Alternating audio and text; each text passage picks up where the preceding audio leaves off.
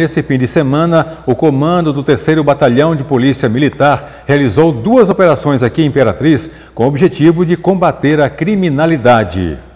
São operações pontuais que funcionam desde o início deste ano, sempre aos finais de semana e no último houve um intensivão por conta do feriado prolongado. Que visam inibir a ação criminosa e durante essa, esses praticamente quatro meses é, de operações, nós já temos um saldo altamente positivo, mais de 50 armas de fogo tiradas de circulação. Entre as ocorrências, os registros de homicídios continuam na média do ano passado. Mas os outros crimes todos estão decaindo, certo?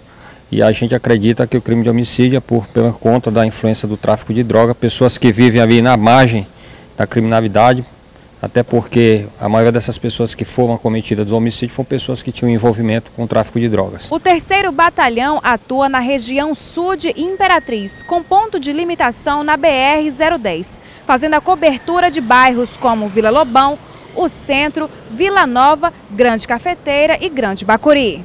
Os bombeiros tentam localizar o estudante que desapareceu no Rio Tocantins nesse fim de semana. Na escola onde Micael estudava, as aulas foram suspensas ontem. Na porta da escola onde ele estudava, um cartaz foi colado com uma nota de pesar e um pedaço de pano preto. Na nota, a equipe de funcionários da escola Moranguinho manifestou o seu mais profundo pesar pelo sumiço do aluno Micael. A dona Alzeni conhecia o Micael.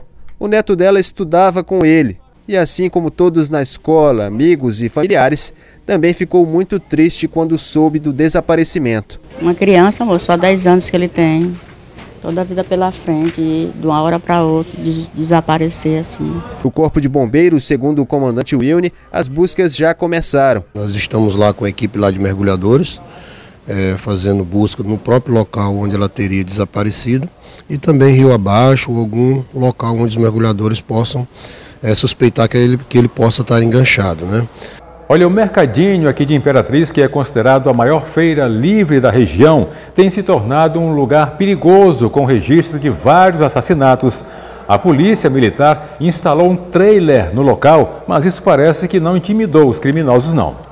O trailer foi instalado desde o ano passado, funcionando com três policiais 24 horas e outros que realizam as rondas. São dois giros de policiamento, o, é, o, o giro durante o dia, né, maior intensidade de movimento aqui na, no local.